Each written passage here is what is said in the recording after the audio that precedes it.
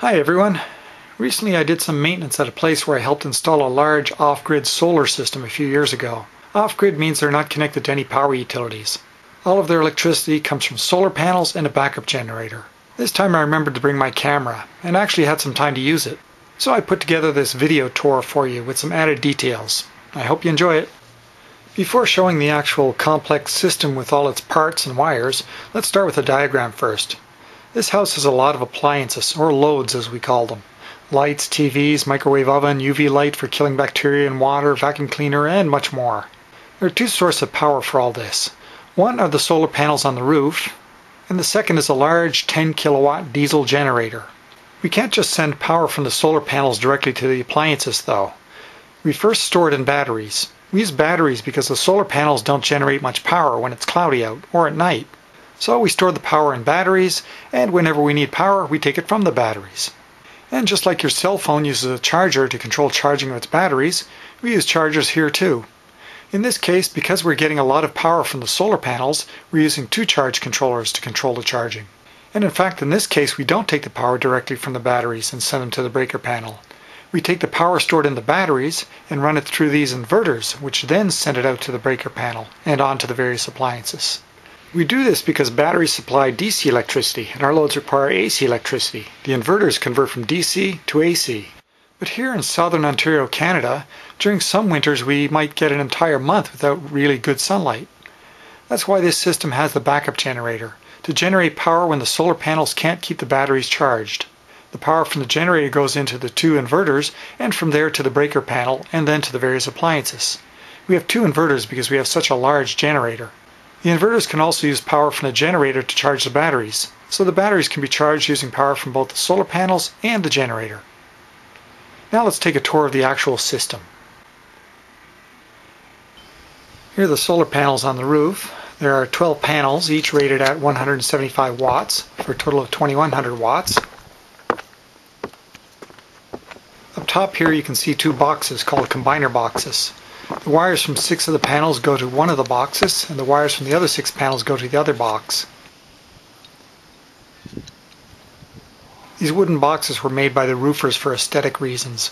The actual combiner boxes are these white metal ones seen in this older photo. And here we'll add them to the diagram. They're called combiner boxes because they combine many wires from the panels into less wires which then go inside the roof and the walls and down to where everything else is located. So here's the inside. Those two orange wires up there are the ones that come from those two boxes on the roof. And they run down to these two things here. These are called charge controllers. Actually labeled right there. And you can see the orange wires going into this white box that the charge controller is bolted to and the other one down to this one right here. And the charge controllers massage the power a little bit and then you can see the red and black wires coming out there and here too. And they go into this box right here. And in this box all they're done is they're connected to uh, various points in here and these two uh, big breakers right here or disconnect switches and then they come out in these two thick wires here which go down to the battery bank.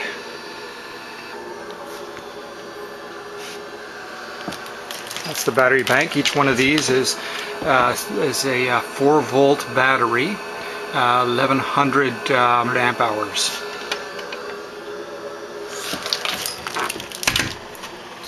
So that's one source of power is the solar.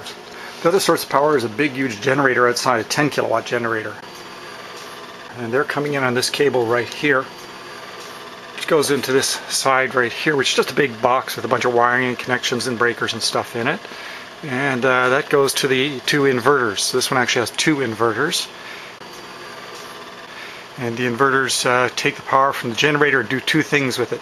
One is they, if the generator is running, they'll pass it through to that gray cable up there to the main breaker panel and out to the various loads of the house. Um, the other thing they do with it is they take uh, what's left of that uh, power and they use it to charge the batteries and that's going to those same sets of cables right here that go down to the batteries right there. There's just two cables because it's a 10 kilowatt generator and we're going to be putting quite a bit of current through there And also it's a big, big, big battery bank, so if there's a short in there, the cables have to be able to handle it. And the disconnect switches here will trip 250 amp uh, breakers. You're probably used to 15 amp breakers in your house. There are also some monitoring equipment right here. There's a little Xantrex uh, battery status monitor here.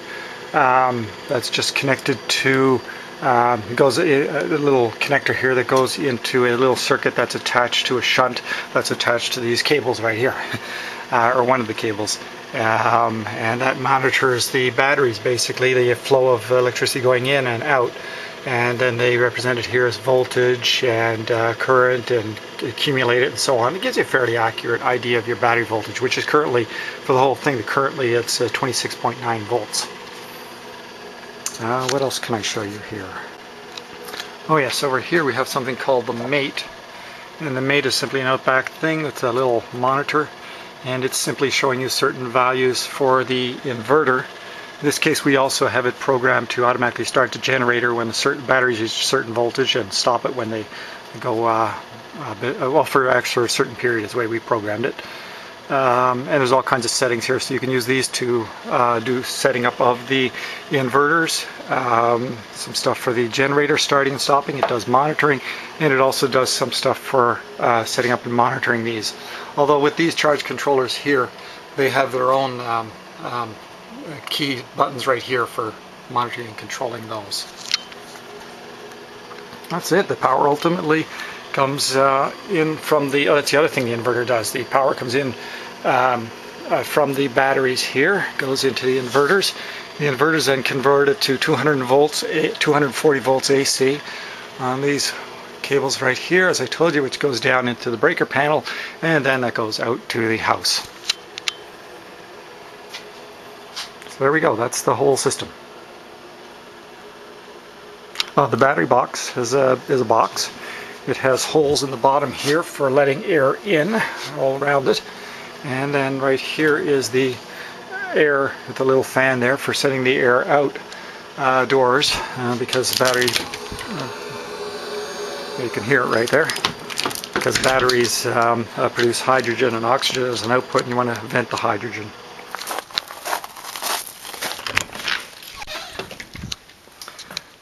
Back here is the 10 kilowatt generator. And uh, some of these lines here make their way up somewhere. there we go, going in the wall right here. That goes back to the uh, inverters where I showed you some thick cables before. While giving the tour I glossed over some of the safety features, mainly all those breakers and switches. Here they all are in our diagram, and here they are in real life. Some of them are mainly here in case there's a short circuit somewhere. The breakers will trip just like the breakers in your house would. Sometimes fuses are used instead. Another purpose is to isolate a piece of equipment in case you wanted to replace it or do some work on the wiring. For example, if you want to replace the charge controllers, then you would first open the breakers on the wires before and after them. And then there are the various lightning arresters. Here they are in the diagram. If lightning hits any of the parts uh, on our roof, then the large electrical current from that lightning would be channeled to the ground instead of going through the equipment and damaging it. The only other safety feature is bonding all the equipment to ground. Unfortunately, I didn't capture any good video of it since in this installation none of it is really visible without opening things up. Basically, all the metal solar panel frames, metal cases, and so on all have wires connected to them which lead to ground. That way, if there's a short anywhere, the dangerous electrical current would go to ground instead of anyone who might touch the metal. Well, thanks for watching. I hope you learned something from this video. Be sure to subscribe if you like these videos. Also, have a look at my YouTube channel, Rimstar.org, for more solar related videos. You can find a lot of them in the renewable energy playlist, such as solar cooking, how nuclear fusion works in the sun to produce solar energy in the first place, more solar electricity videos, and more. See you soon.